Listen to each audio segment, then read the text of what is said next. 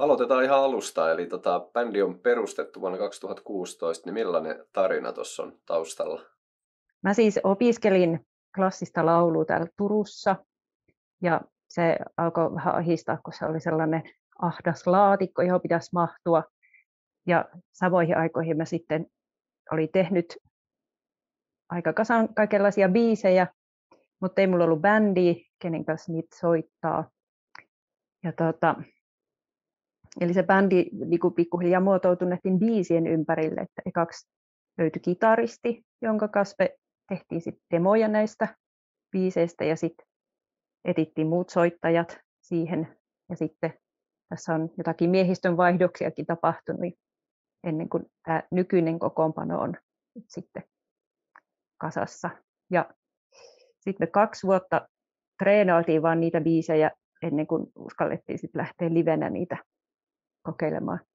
Ja sitten 2018 me sitten tultiin esiin ja soitettiin muun muassa Lumouksessa. Ja vähän niin kuin debyytti oli siellä, mikä oli aika hienoa. Joo, eli silloin tota, tuli sitten 2018 tätä musiikkia, eli, musiikkiakin ulos, eli Siuksi on the Beats, ja miten tota, tie sieltä on sitten tota, kulkenut tähän debyyttilevyyn? No, olen vähän niin kuin, ähm, kokeiltu, että mistä löytyisi niin kuin joku levyyhtiö, minkä kanssa tehdä yhteistyötä ja sit, sitten tota, julkaistu singlei aina välillä ja sitten tehty musiikkivideota ja vähän semmoista niin pikkuhiljaa edennyt tähän pisteeseen, kunnes nyt sitten löytyi tuota, tämmöinen sopiva yhteistyökumppani tämän levyn julkaisemiseen. Joo, millainen levy tämä Invite sitten on, eli tota, niin kuin millä aikavälillä ja miten näitä biisejä on kirjoitettu? Ähm, ekat oli just silloin opiskeluaikoina tehty. Ja sitten osa tuli vasta siinä kohtaa, kun bändi oli jo ja piti saada vähän niin kuin uutta soitettavaa. Ja sit, tai et, ö, siinä kun soitti heidän kanssa, niin siitä tietysti inspiroitui ja, ja rupesi syntymään uusia biisejä. Eli aika monen vuoden ajalta, siellä on varhaisimmat ehkä 2013, mutta ei ole tehty valmiiksi kuin vasta sitten joskus 16-17. Mistä tota ylipäätään sulle tulee sit inspistä ja vaikutteita tuohon lyriikoihin ja musiikkiin? Ää, se voi olla joku henkilökohtainen juttu,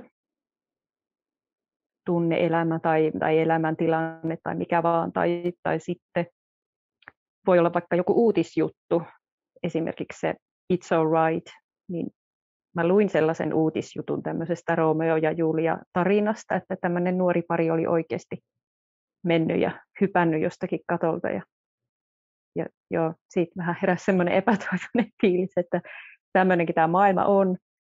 Ja siitä sitten biisin tämmöisiä juttuja.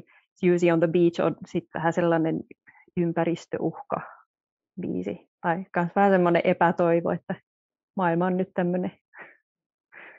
Joo. Ehkä sitä valoakin tulee joskus sieltä vielä.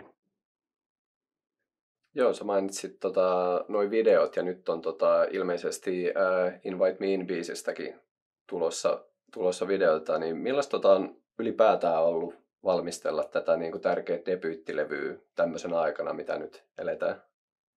Että tota julkaisuakin ymmärtääkseni siirrettiin jo kertaalleen. Joo, joo kyllä. Siirrettiin. Ähm, tässä on tietysti se, että, että kun se levyyhtiö ja, ja painatus on siellä Saksassa, niin muutenkin on niin kuin digitaalisen palvelun varassa. Eli sitten se tiedonsiirto ja kaikki, niin siinä voi olla omia juttuja varmaan niin kuin ihan ilmankin koronaa, mutta, mutta kaikki tämä on tehnyt niin sitä, että tavarat ei siirry ja kaikkea mahdollista, niin on se siis hidastanut tätä prosessia.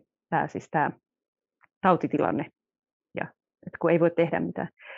Ja vähän semmoinen no, eristynyt olo, että kun mitään, mitään varmaa ei ole tiedossa, ei kiertuetta, ei live-juttuja tälle. Mekin ollaan päästy tekemään vain yksi striimi tuossa tammikuussa, yksi keikka lokakuussa ja siinäpä ne onkin niin kuin tämän vuoden aikana, viime vuoden aikana. Et toivotaan, että se siitä, siitä selkenee taas. Joo, onko se tällä hetkellä niin ylipäätään mahdollista, niin miten tarkasti suunnitella asioita eteenpäin bändinä? No, ei oikeastaan. Ehkä, ehkä niin kuin syksylle tai sitten niin kuin ensi kesälle voisi jotain semmoista varmaa. Tai, tai jos äkkiä tulee jotain, jos äkkiä aukeaa rajoitukset, niin sitten sit voi taas ruveta, mutta sittenhän siinä kestää, että niitä rupeaa taas tulemaan niitä keikkoja. Myyntityö vaatii aikansa. Joo, kyllä, kyllä. Eli mä ihan väärin näin, niin siellä taustalla näyttäisi olevan ehkä tota Invite-levyn tota kansitaidetta ainakin Joo. Siellä lähellä on, sitä. Kyllä. Tota... Tuosta se on poimittu noin noi otukset. Ja... Okei, okay. onko se sun maalaama? Joo. Miten tärkeä osa toi visuaalinen puoli on, että sä puhuit noista videoista ja sitten on striimikeikkoja tehty ja sä oot itse tehnyt kansitaiteen, niin miten tärkeä toi visuaalinen puoli sulle on? Ää, kyllä se on siis tärkeä osa. Ää, mulla on siis myös vaatesuunnittelijan koulutus. Ja no ehkä sitä kautta toi niinku piirtäminen, maalaaminen myös on tässä mukana. Ja sitten noihin kaikkiin videoihin, niin mahdollisuuksien mukaan niin on myös suunnitellut ja tehnyt kaikkia näitä pukuja. Ja e, sitten mulla on tietysti iso suunnitelma, että bändipaidit ja kaikki tämmöinen, niin sitten, että et nekin suunnittelisin itse ja ehkä toteuttaisin jopa ja tämmöisiä grandiösejä juttuja. Eli on se aika tärkeä osa tätä kokonaisuutta. Joo, ja koska tota, tämä Invite-levy nyt sitten tulee, tulee tota julki, ja mitkä on nyt sitten niin omat ajatukset tuosta levystä, kun se on niin kuin vihdoin, vihdoin tulossa? Omat ajatukset on, on, on helpottunut ja, ja siis tyytyväinen täytyy olla, että nyt se on vihdoin siis tehty. Ja ulkona, tai siis se tulee 7.5. sitten varsinaisesti ulos.